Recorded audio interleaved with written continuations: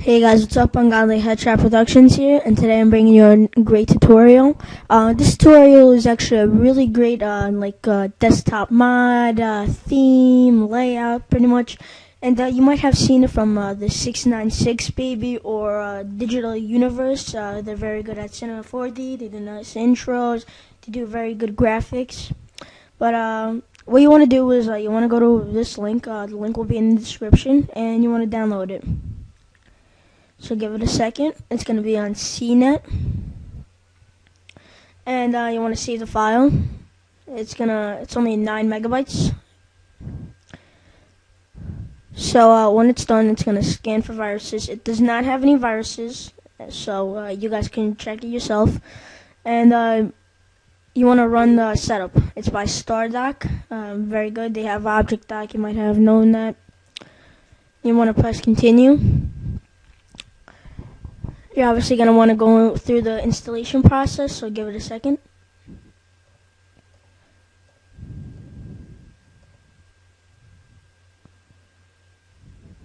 And uh, you can close this out. You're not going to need that.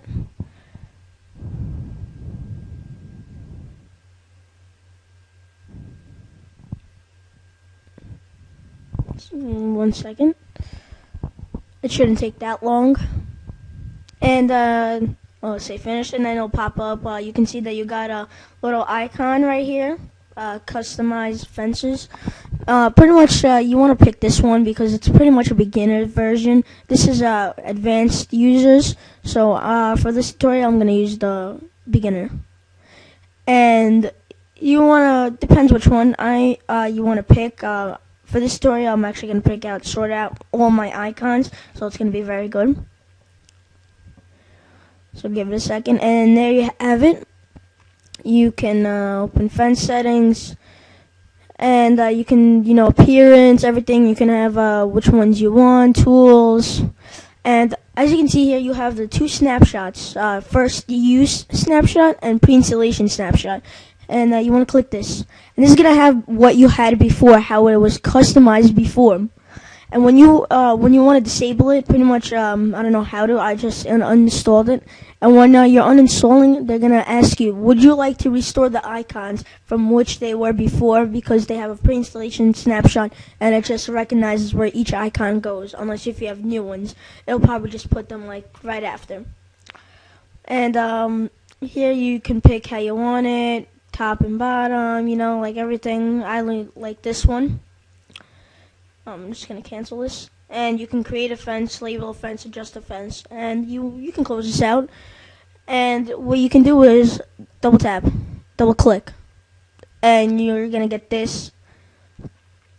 And when you double click again, they come back up. Very nice, very unique design. I like it a lot. And um, pretty much you can configure fences when you right click, um, everything. Um, and say you hate this, you don't want it anymore, ever, ever again, you're going to go to Start, going to go to Control Panel, then you want to go to Uninstall Program, and then you're going to have this uninstallation. One second, let it load. You're going to have Fences by StarDock Corporation. You want to double click it. It's going to pop up, uh, you know, the security. Are you sure you want to uninstall the selected application and all of its components? Yes. Would you, when you installed Fences, a snapshot of your desktop layout was taken, what I said before. Would you like to restore your desktop icons positions to before uh, Fences was installed? And if you want them, you can write yes or um, yes. And if you don't, then no. I want to because I like it how it was before. So, yes. Give it a second, and there you have it. They're all back of uh, how they were before. And um, it says right here, do you want to remove all of Fences settings and save backups? And if you want no, uh, if you don't want them, then you can click no. If you want them, um, well, I mean the other way around. If you want them, click no. If you uh, don't want them, click yes. And I don't want them. Well, actually, yeah, because I don't want them because I'm going to set it up again. So I'm going to press yes. And it's gonna go pretty much on the install on installation, and there you have it. It's gone. If you don't want it, Uh, thanks for watching, guys, and I'll see you next time. Also, I forgot to say one more thing. Don't forget to subscribe, comment, and rate.